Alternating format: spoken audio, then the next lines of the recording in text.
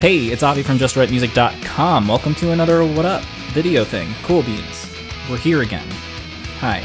Uh, today, I want to help you add some excitement into your songs to help you keep your listeners engaged. How we can do that?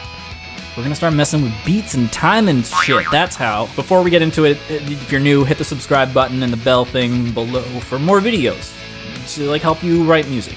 Just write music. Just do that. Just keep, just keep doing that. Okay, so the meter, or the time signature, dictates a lot about how we feel the music. By strategically changing the time signature, we can achieve some really cool stuff. In this video, we're going to look at an old demo of mine called The Hope That Festers, right over here.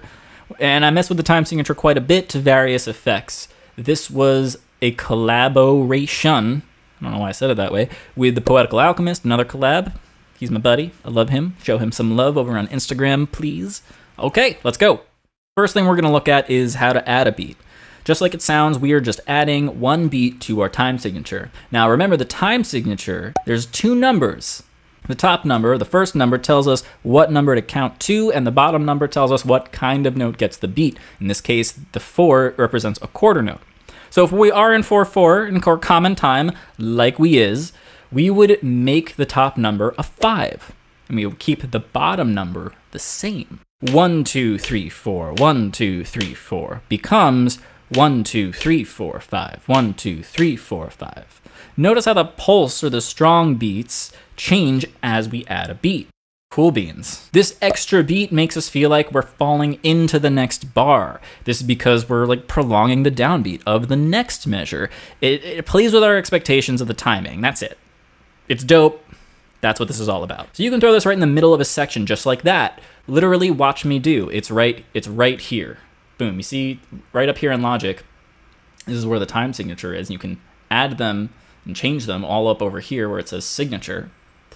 And right here you can see we're in 4-4, but there's a little bit of 5-4 just right up on there. Let's see what's going on there. We are the pathways burned and salted. We are directions curled and rotten.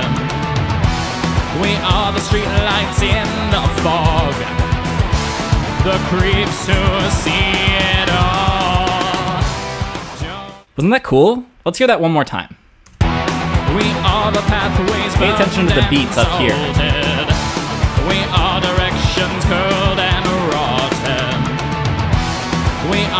Notice we are just kind of falling into it. Ricka digga digga digga ba. That's literally when you go to music school, that's how you get taught. All right, so that's what it sounds like when we add a beat. Next, we are going to look at removing a beat.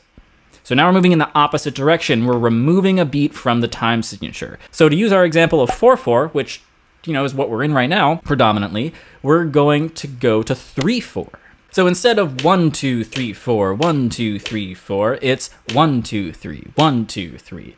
Now notice how we totally lost a strong beat. Now there's, there's only one, literally. One less beat means the downbeat of the next measure happens sooner. Like before, we're messing with the listener's sense of timing and pulse, yo. By getting that downbeat a bit sooner, feels like it's hitting us harder since it was unexpected. It stands out. You can also play with the listener's expectations by arpeggiating the like button below for the YouTube algorithm. Yup, it works. Also, just keep watching to the end, that works more. I really like using this right before the last chorus because it makes it hit a little harder like we were talking about, and that's exactly what we want the last chorus to do. Check it out. We are the instinct clawing out. Rapid voices full of doubt. Don't ignore what they have said. Those whispers shouting in your head. We are the. We are the driven. Did you did you hear that? Did you hear how cool that sounded? Good damn. Let's listen to that one more time. We are the instinct clawing out. Rapid voices full of doubt. Don't ignore what they have said. Those whispers shouting in your head. We are the We just slid right into that chorus. It hits us over the head. Pretty cool, right? I like it. So that's removing a beat. Neat. swell stuff going on here in the Just Write Music zone. No, I hate that. No. Moving on. Let's really dive into the deep end. We're going to talk about multiple meter changes. For this one, we're going all out. We're changing the time signature for each bar of music. Like, wow, what? If we were in 4 4, now we can go something like 1, 2, 3, 4, 1, 2, 3, 1, 2, 3, 4, 5, 1, 2, 3, 4, 1, 2, 3, 1, 2, 3, 4, 5. All right, so we're like really messing with the pulse. We're in three different time signatures, each one at one measure long, and, that, and we have we created a little bit of a pattern out of it too. Look at what's going on here. 8898 88 1916 88 98 88 1916 then eight well we're really just going back into four at that point this is a great palate cleanser because we introduce a little bit of chaos before going back to a consistent meter we're throwing everyone's timing off by a lot and just going crazy when we finally get back to a regular meter, the groove feels, well, groovy. We get to give back the sense of groove we took from the listener, but it doesn't have to be the same groove as before, even though in this case it is. I said groove a lot. In this song, I used it for the solo because it helped me avoid a classic solo pitfall. And what that is, you know, just use one of the other riffs in the song underneath the solo. I didn't want to do that. I wanted to kind of make the solo stand out on its own a little bit more. So by using this, we are forcing ourselves to be a little bit more creative, which is a good thing. This achieves that palate cleanser effect while also making the song just more interesting. Let's let's hear how this sounds from the pre-chorus. And go.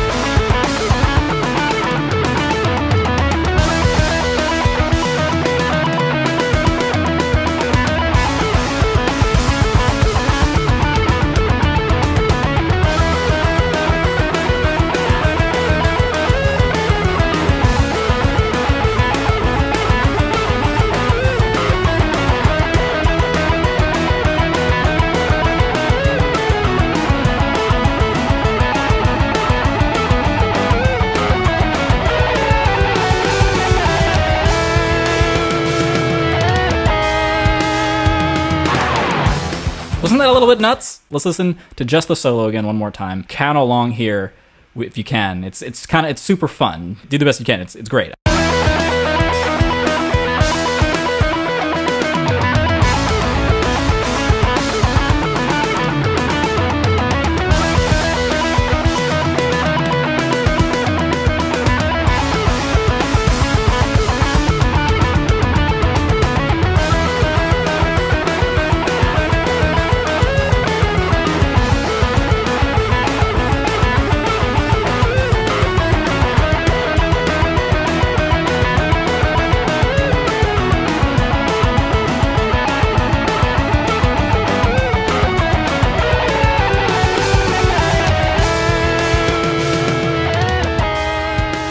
Notice how we really just kind of went out of nowhere, and when we get back the groove, when we get back to 4 4 right here, that groove feels good. We feel like we arrived somewhere, even though we were just in 4 4 not too long ago. So that's pretty dope, right?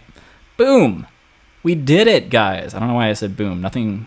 Nothing happened. So there you go. That's how we can use time signatures and meter changes to make your songs a little less boring. We can add beats, remove beats, or just go crazy, take away everyone's sense of timing take him for a ride. All right, it is that time of the video where I tell you to go do a thing. We're, we're really making our songs stand out by messing with time, but it's super important to make sure your melodies are up to snuff.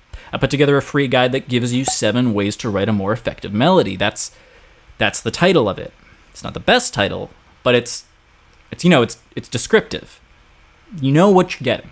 It's got tips for writing melodies, effective melodies Se- seven of them. Yeah. Head to justwritemusic.com. Go go grab your free copy. It's free. I don't know if I mentioned that. But also be sure to come back here to YouTube's and you know let me know which tip was your favorite because I do want to know. It's important to me. I want to hear back from y'all. You all. I can't say y'all. I, I can't pull that off. All right. Do you ever mess with time signatures in your songs or is this totally new to you? Let me know down in the comments. I just had a comment call to action. Guys, I'm all I'm all over the place in this video. All over the place. Ugh, Jesus Christ. All right. Well, th- thank you for watching. I can't believe you're here. Thank you so much for watching and hanging out with me while I'm being stupid and weird. Uh, I'm Avi from JustWriteMusic.com, and don't forget to be awesome.